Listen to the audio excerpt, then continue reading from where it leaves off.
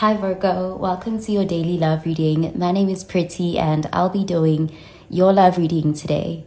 So before we begin with your love reading Virgo, please do remember to take what resonates and to leave behind whatever does not. Okay, so let's begin with your love reading Virgo.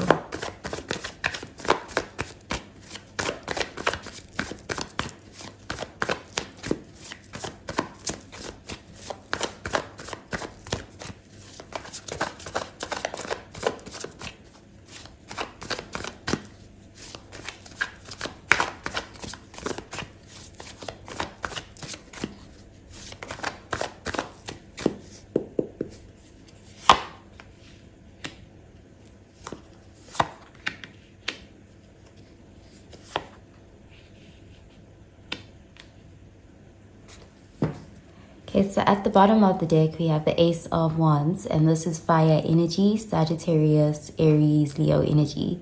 So this is a card of a passionate beginning. This is a card of someone um, being very attracted to you, feeling a spark, and, you know, wanting to pursue you to have some sort of new start with you here.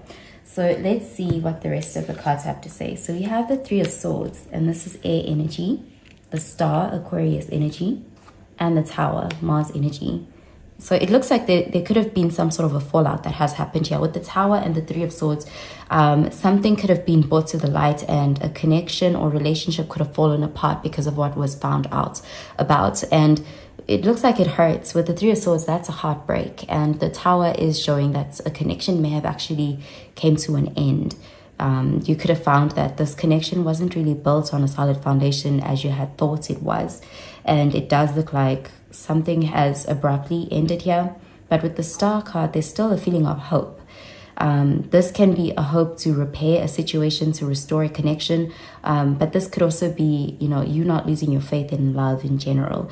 There's someone here who's still attracted to you, someone who wants you, someone who's going to pursue you.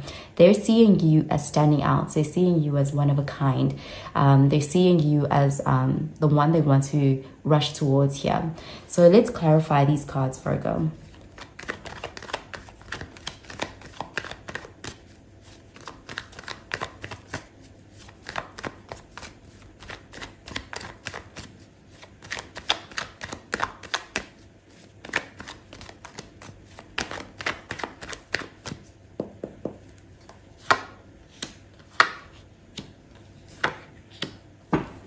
Okay, so we have the Eight of Pentacles, and this is Earth energy, Virgo, Taurus, Capricorn energy. So there's again, it's like someone wants to work on something with you. They want to fix things. They're dedicated to uh, showing you that they care, showing you that they are wanting to commit to you here.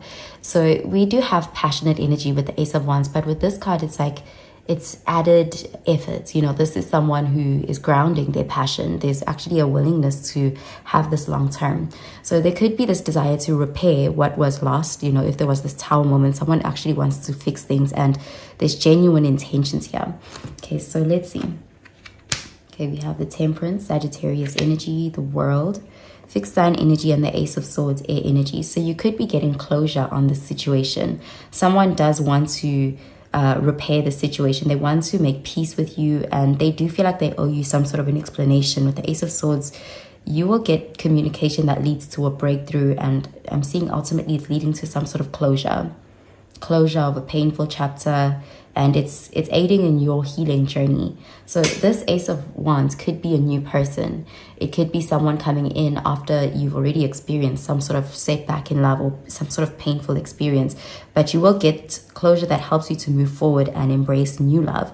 But this ace of wands could also be this person who you had the tower with coming in here and giving you clarity and um, making peace with you and the closure can be closing out this difficult painful chapter so that you guys can work on repairing and having a new chapter.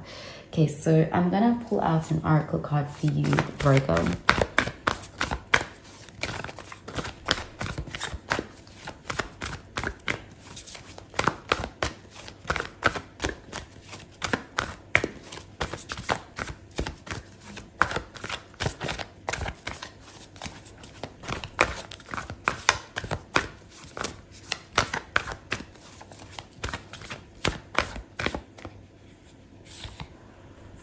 have a personal issue reaches resolution, full moon in Cancer. So definitely there's something here that was painful, something that hurt.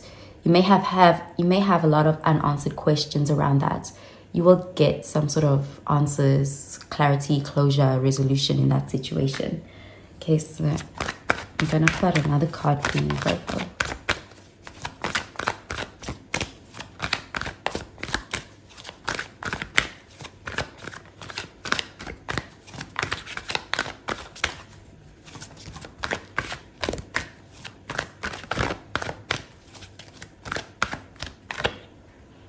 Okay, we have retreat.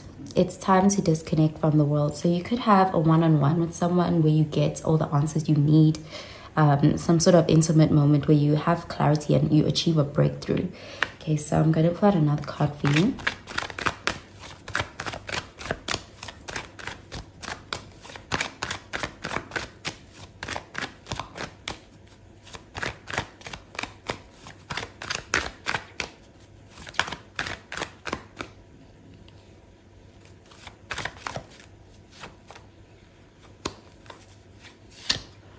Okay, so we have always joyful.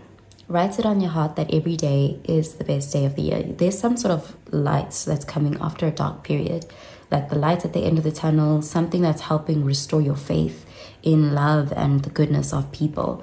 Okay, so I'm going to pull out a card for your advice, Virgo.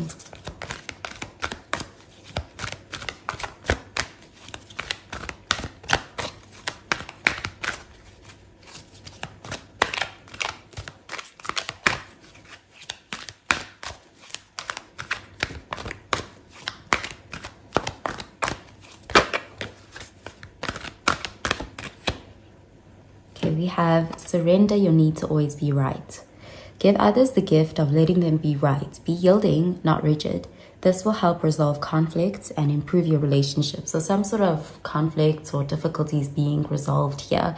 And there may be a need to kind of see where the other person is coming from because it looks like they're giving you some sort of clarity on the situation. Okay, so that's what I'm seeing for you, Virgo. I hope you have a really, really good day, Virgo. Bye, Virgo.